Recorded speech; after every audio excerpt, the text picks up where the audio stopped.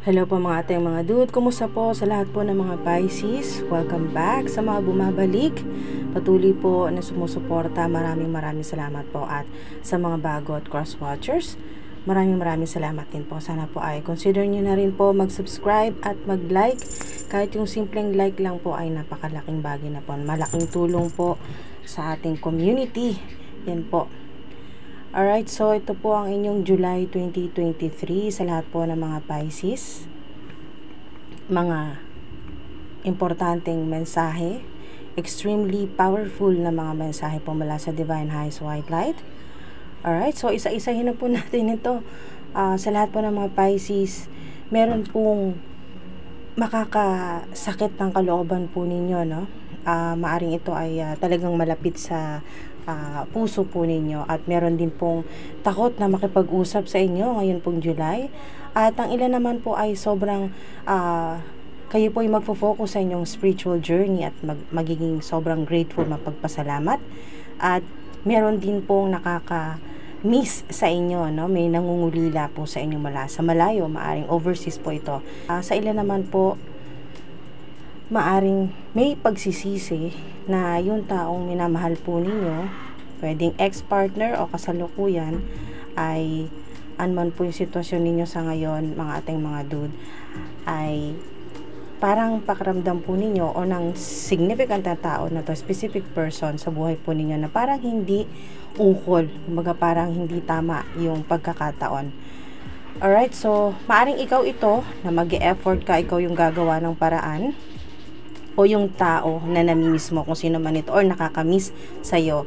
Pero meron din pong this could be the one. So, um, sa ilan ay maaring siya na uh, makikilala or matagal nyo na pong kasama sa buhay.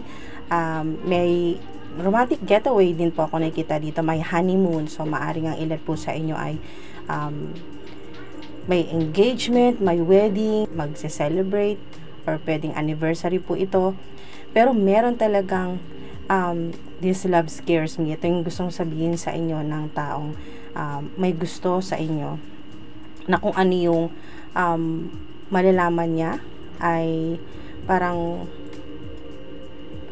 hindi niya matanggap, okay? Hindi niya matatanggap. Parang makakadurog ng puso niya kung ano man yung matutuklasan niya tungkol sa iyo. Or vice versa, pwede, pwedeng ikaw ito na parang hindi mo matanggap, hindi mo kayang tanggapin kung ano yung mababalitaan, ano yung malalaman mo tungkol sa tao na to. Maaring may kinalaman sa sex, ayan, S-E-X, maaring may kinalaman po dito. Uh, involve yung tao na gustong gusto mo uh, dito sa kung ano man itong issue. Or, sa ilan naman po ay ito yon SEX ay sa honeymoon. So, romantic getaway o maaring kayo po ay um, magbabakasyon, aalis, mamamasyal, at syempre, uh, nandun yung lovey-dovey energy. Pero meron din po na um, takot talaga na kausapin ka. Okay? So, pwedeng i-adjust nyo lang po yung energy kasi may yes dito. I think so, yes. So, maaring eh, confirmation po ito mga ating mga dude. Pero, this could be the one. Maaring ito ay validation din po, no? Isa pang confirmation mula sa universe sa Divine Highest White Light na yes, kung sino man yung yung tao na nasa isip mo ngayon, mahal na mahal mo at palagi mo mahal ka rin ay yes, confirmation niya na maaring siya na nga Um, sa ilan naman po ay I need more balance. Maaring ikaw ito o yung tao na nasa isip mo ngayon na maaring nag-disconnect sa'yo o maaring ex or kasalukuyan na maaring mahal nyo isa't isa o magkalayo kasi even though we're, we're, we're apart. So ibig sabihin ang ilan po sa inyo ay, ay LDR o malayo po kayo sa isa't isa. At walang balance. Alright? So, maaring ikaw ito, kailangan mo ng time o kailangan mo pa ng, ng space, kailangan mo pa ng um, yung panahon para makilala mo pa ng lubusan yung tao na to. Kasi, ang ilan po sa inyo merong uh, maaring ikaw ito o vice versa. Maaring um, iniisip mo na talaga bang may pakialam sa'yo ang tao na to? Romantically o kaibigan o family member? So, merong um, meron ditong uh, hindi tama ang uh, kumbaga yung energy hindi balanse. So, maaring ikaw lang yung nagmamahal o maaring yung uh, kung sino may significant person na sobrang mahal ka pero hindi mo, um, hin, kumbaga para sa'yo ay hindi ito yung tamang panahon. O vice versa, kung sino man yung tinutukoy dito or significant person na um, may connection sa'yo ay hindi pa siya handa sa ngayon. I always give you a good night kiss. Ito naman po yung sa mahal po ninyo sa buhay na nasa spirit realm na po, nasa heavenly places na na uh, mahal na mahal ka talaga ng tao na to, ng pwedeng family member o kung sino man po itong um, malapit sa'yo na lagi siyang uh, talagang nag-good night kiss at gusto ng ilan po sa inyo yung mahal po ninyo sa buhay na gustong sabihin sa'yo na na nasa heaven na po, no, yung mahal po ninyo sa buhay na nasa uh, heavenly places na po ay uh, gusto niya sabihin na huwag kang matakot kung ano man yung kinatatakutan mo sa kasalukuyan, ay, yan, don't be afraid, huwag kang matakot. Okay, so makakatulong din po yung pag-iyak. Tears cleanse the soul. So, para sa uh, ilan po sa inyo, yung mahal po ninyo sa buhay na nasa heaven na po, heavenly places, ay um, kung gusto niya sabihin na nandyan lang siya palagi para sa'yo, at uh, nakikinig siya sa mga uh, kung ano man yung uh, hirap na nararanasan mo yung yung sinasabi ng isip mo na uh, gusto ng gusto niya iiyak mo para gumaan at ma-cleanse, magkaroon ng healing, ng cleansing at sobrang connected nito, no? Synchronize. I need more balance. Number 2. At ito po yung twin flame, yung 2 or 1-1 or 11-11, 1-1-1 ay sobrang connected po, no? Uh, synchronicity.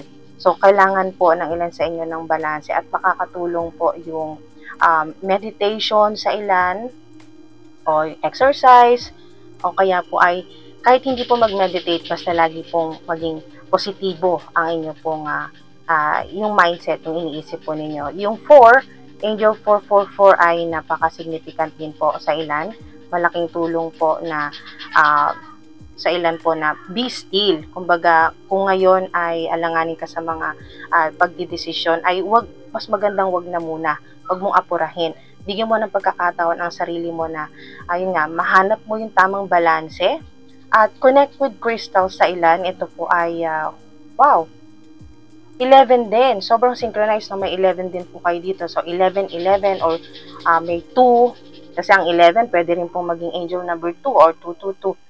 So, sobrang connected at sobrang synchronized po nito mga ating mga dud. Kung mapapansin ninyo, parehong nagme-meditate or nagre-ritual, manifestation, affirmation, at ang ilan po sa inyo ay makakatulong din po pang boost o pang intensify ng manifestation po ninyo o ng ritual, ng panalangin, yung paggamit po ng mga crystals, iba't ibang klaseng crystals, may para po sa healing, sa protection, uh, iba naman po ay pang manifestation po para maka-attract po kayo ng um, tamang balance o balanse sa inyong buhay or positive energy, positive people, um, kung ano man po yung gusto ninyong i-manifest. Ayan po.